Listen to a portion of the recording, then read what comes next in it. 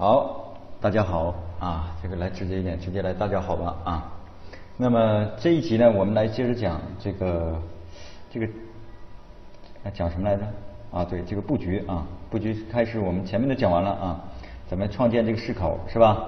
这个窗户是吧？然后这个窗框呢，我们要逼格一点是吧？什么逼格的窗框啊，这样来建立啊，并且这窗框的样式啊，什么我们都学会了怎么操作啊。然后呢，我们看啊，这个下面这个布局，这个选项卡能不能改这个名字啊？当然，我估计是可以的啊，因为布局布局二啊。这是我们双击它的话啊，在这个文字名字上啊，不是文字啊，名字上双击啊，我们输入什么？假设这个光石照明学院啊，OK，回车，这时我们是不是重命名了？那么我们也可以这个布局二点一下它啊。这是我们暂时只需要布局一啊，当然你有多多个内容的时候是吧？不同公司是吧？第一版、第二版啊，你都可以新建呃建立不同的布局啊。你也可以右键新建布局啊，这个新建一个是吧？这个这个这个布局一布局二，你也可以更改它的名字啊，这个都可以啊。当然你也可以删除，右键删除是吧？永久删除，OK。那么。那这节课呢，我们讲一下怎么样打印，是吧？因为你做完了之后，你最后要给客户看啊。有的客户他没有 CD，怎么办啊？这个软件也不是一般电脑能装的，是吧？你装了 CD，证明你还是有文化的人，是吧？啊，现在我们是不怕呃麦登啊，就怕麦登有文化啊。好，那么打印在哪儿呢？一般情况下我们在文件啊，不要点这个啊，这个是一个快速打印啊，文件啊。我们找到下面有一个打印是吧？快捷键是什么？Ctrl 加 P 啊，点一下它。这时候我们看到啊，这个上面有一些设置啊，怎么设置？你肯如果是你直接点了，这个不行。如果你连了打印机啊，这你的纸张可能会浪费很多，所以你首先要进行设置。名称啊，这个我们先不管它啊。打印机绘图仪这个很重要，要选择是吧？通常情况下。如果你没有连接打印机的时候啊，或者是测试打印的时候，你注意先打印到文件，打印到文件在哪儿呢？这有个 DWG to PDF，在这儿啊，它默认就勾选到打印到文件了啊。这儿，如果你或者其他，你可以选择打印到文件啊。这里有个特性是吧？特性这里我们就默认就可以了啊。就是就是说啊 CD，auto CAD 自带的一个啊，图形图纸尺寸，我们那是多少多大的？A 二是吧？A 二找到 A 二这儿啊，五九四乘四二零的这样的一个尺寸啊。打印范围这个很重要啊，这个打印范围是我们不是布局，这里注意选窗口啊。窗口的话，这里啊把这个对象捕捉开了啊。我打印这个啊，假设从这儿到这儿啊，这个窗口被选了啊。如果你觉得选错了，再点一下这个窗口，再来一次，是吧？打印范围啊，然后这里居中打印选上。布满图纸选上啊，这里横向，如果你图纸纵向的呢，你要选这个纵向啊才行啊。然后呢，我们看啊，这个右边这个设置也很重要啊。这个我已经建立了一个灰度啊。正常情况下，如果选的默认，默认是这个 ACD 啊，这个质量常规就可以了。如果你要求这个线条清晰，你就用最高啊，这个像素的质量啊。打印对象线宽。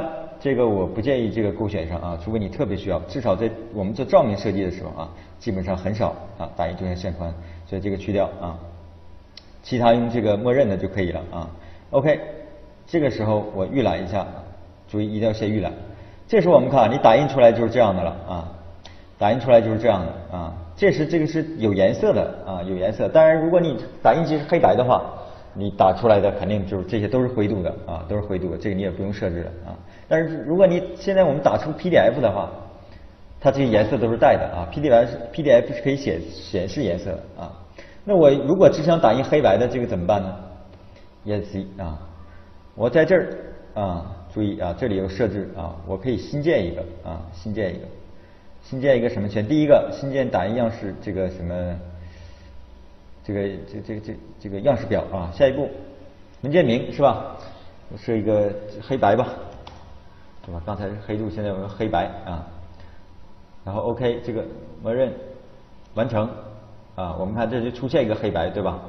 在这儿点一下编辑，编辑这有个不同的一个颜色啊。这个颜色整个在你这个图纸中有这么多种颜色，怎么办呢？选中第一个颜色一，然后把它拉到最后，按住键盘的 Shift，注意啊，这里是全选，按住 Shift 先，先按住 Shift，然后再选择这个最后一个，这样所有的就被选中了啊。你可以怎么样呢？在这儿，如果你所有对象都用同一个颜色的话呢，你就把它全选成黑色啊。当然我们不建议这样做啊。在这里注意有个灰度，把它开啊，这样开了，其他的呢都不变啊。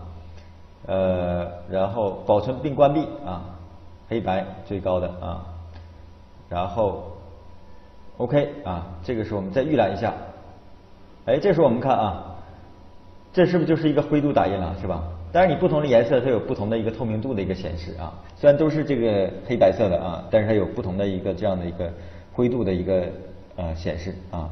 那你看啊，现在都是黑白的，OK。这是我们在退出啊，按这个你点这个叉也可以啊，关闭预览窗口啊。然后这时我们再点什么呢？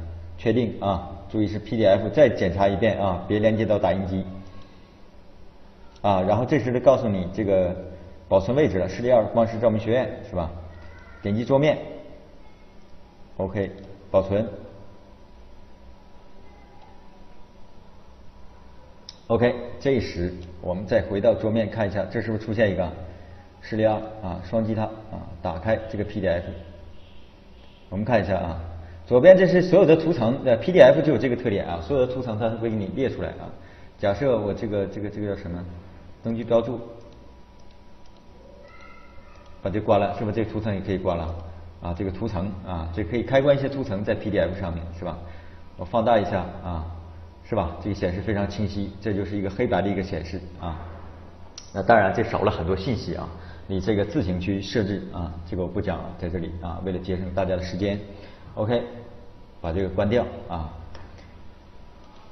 那么到这里为止呢，我们就把这个全部的啊，这个由你开始作图到最后输出这样的一个啊，当然我们是拿到别人的一个底图的一个情况下啊。